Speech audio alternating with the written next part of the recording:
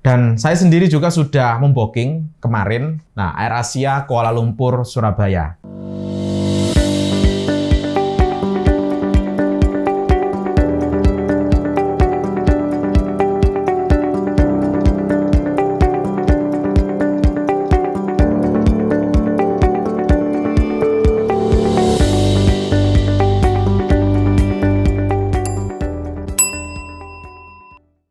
Assalamualaikum warahmatullahi wabarakatuh. Bertemu lagi bersama saya Mugi di Channel. Oke, selamat sore, selamat beristirahat kepada sahabat-sahabat Mugi di Channel. Oke, di sore ini kita mencoba untuk mengintip tiket khususnya dari Kuala Lumpur ke Surabaya karena di sini banyak sekali sahabat-sahabat kita yang tertanya-tanya kapan Bandara Juanda akan dibuka. Oke, sebelum kita masuk ke informasinya, saya ingatkan dulu buat sahabat-sahabat yang baru pertama kali menemui channel ini jangan lupa dibantu untuk subscribe dan aktifkan tombol lonceng notifikasi agar sahabat-sahabat ke depannya tidak ketinggalan ketika ketika channel ini mengupdate info-info yang akan datang. Oke, kita masuk saja ke informasinya. Memang sampai saat ini khususnya warga Jawa Timur pastinya di situ akan tertunggu-tunggu kapan Bandara Juanda dibuka lagi untuk penerbangan internasional. Dan sahabat juga di saat ini pastinya sudah mendengar bahwasanya kabar terbaru untuk Bandara Internasional Juanda akan segera dibuka. Dan di situ ya akan menimbulkan penasaran khususnya bagi sahabat-sahabat yang dari Jatim dan di saat saat ini ataupun yang akan datang berencana untuk balik agar nanti tidak perlu pusing ke Jakarta baru terbang ke Jawa Timur. Nah, di sini untuk informasi sahabat, kita coba intip apakah untuk tiket penerbangan di tahun yang akan datang apakah sudah dijual oleh pihak maskapai. Nah, di sini sahabat juga bisa memanfaatkan karena di saat ini untuk kita yang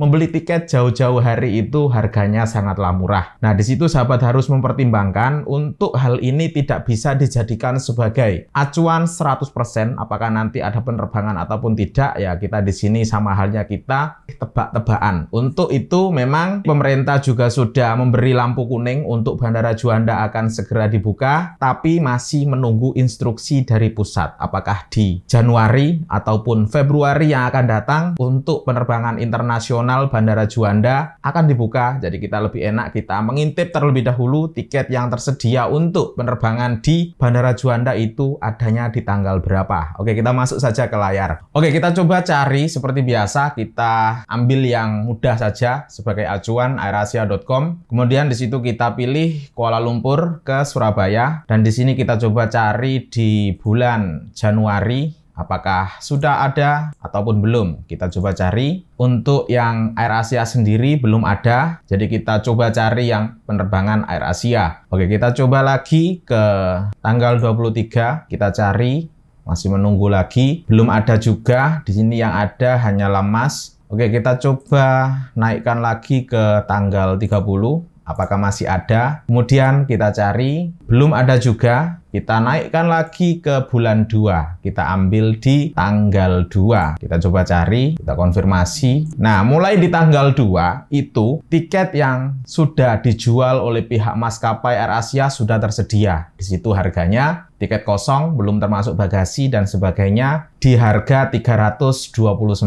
Nah, di sini tinggal memilih. Memang di saat ini pihak maskapai AirAsia itu menjual tiket pesawat-pesawat yang lain sama halnya seperti Traveloka. Di situ ada Scoot, Malaysia Airlines ataupun Lion. Oke, kita coba cari lain lagi, kita ambil di tanggal 9. Kita cari apakah ada. Oke, ada. Dan di situ pun harganya lebih miring lagi yaitu 269. Kita coba cari lagi 269. Ada juga. Oke, jadi di sini kita bisa melihat untuk jadwal penerbangan yang dijual AirAsia di situ sudah ada keluar mulai di tanggal 2, 4, 6, 9, 11, 13, 14, 16. Untuk yang ada ini ada penerbangan Air Asia sendiri. Untuk yang di tanggal 1, 8, 15, 22 ini biasanya tidak ada pihak Air Asia yang akan terbang. Dalam artian di situ pesawat lain. Oke, jadi kita sudah bisa menyaksikan memang untuk tiket di bulan 2 sudah mulai dijual untuk penerbangan Air Asia. Dan saya sendiri juga sudah membooking kemarin. Kita tutup dulu datanya. Nah, Air Asia Kuala Lumpur Surabaya. Ini untuk ancang-ancang cuti di bulan 2 untuk harganya pun masih miring dan di sini juga bisa dijadikan pertimbangan untuk sahabat yang berencana cuti di bulan 2, 3, 4 dan sebagainya karena kita kalau menggantung tiket itu lebih lama, maka di situ harganya lebih murah. Dan di situ juga sahabat harus memahaminya untuk hal ini kalau misal yang akan datang